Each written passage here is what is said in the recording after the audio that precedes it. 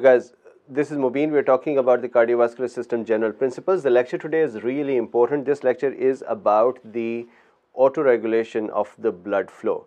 So let's start. The very first thing to understand is that when we talk about the regulation of the blood, we do not talk about the regulation of the blood pressure. Instead, we talk about the regulation of blood flow over a changing pressure. Now, also understand this thing that we know the, the equation for flow equals delta P over resistance. So, what that means is that the pressure, so if I have a blood vessel here, let me make that here.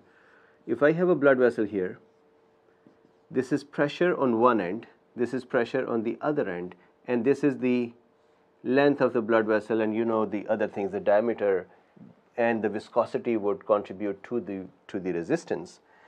In this blood vessel, the pressure is determined, the flow is determined by the gradient of the pressure.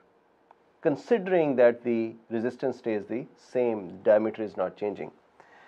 When we talk about the flow regulation, what we mean by that is that if the pressure changes, which means that either the volume is changing or the resistance is changing or the in the resistance the diameter is changing.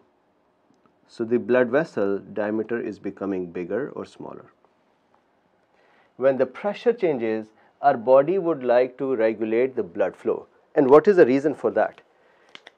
The tissue cells, the tissues consider or need only the oxygen and nutritions and the removal of the waste products. That's all they care for. They don't care for what is the blood pressure in the body, they do not care for what is the diameter of the blood vessels. So, the primary key driver is the flow because flow is responsible to bring the nutrients and oxygen over and take or remove the waste products and carbon dioxide. So, remember this as a, as a healthcare professional, the regulation is about the flow and not about the pressure and the diameters. Now, our body is so smart in keeping the flow the same that if we look at it here and this chart or this graph you would actually may end up seeing in the USMLE and in other examinations.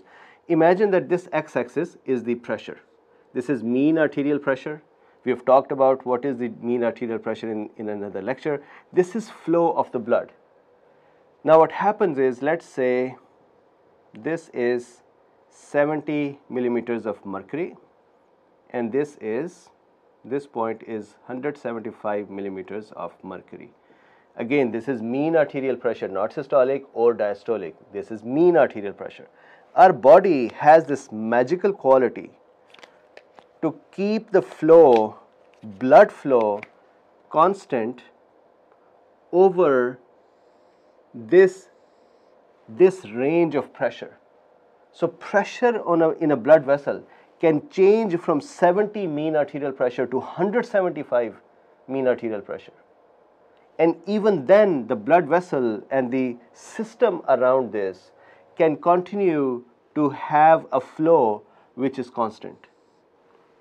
So, the question today that we are going to answer is how does that happen?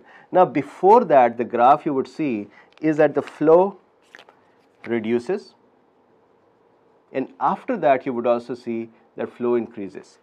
So we need to answer a few questions here before we go and see the theories of the flow. Let's say this is the point A, this is point B, and this is point C. So the first question is, what is happening to the flow here? Why is this flow kept constant here? And what happens to the flow here? Why is this flow increasing? So let's answer these two questions, the point A and C, and then B is the discussion that we'll do today. Look, it will be useful if we can actually put a blood vessel here as well. In this area, blood vessel is maximum, maximally dilated. It is as relaxed as possible, it cannot relax anymore. That means when you put the blood in it, when you put some blood in it, because blood vessel is really dilated, the flow is really changing as you put more value and the pressure is not changing because blood vessel is maximally dilated. Now as the, as the volume increases as the flow increases and as the pressure continues to increase. What does pressure increase mean? That means the diameter would start reducing. So let's say here the diameter of the blood vessel is this much now. So as the diameter reduces and the pressure increases, the flow here needs to be kept constant. So we'll talk how that happens. Then at this point, so as you're seeing that the pressure is increasing, at this point, the blood vessel has constricted as much as it can. It cannot constrict anymore. It cannot close down any further. And because of that, any further pressure changes, for example, by, by the uh, increased volume coming in, any further pressure changes would cause the flow change as well because blood vessel is not able to control it anymore. So this also tells us one more thing.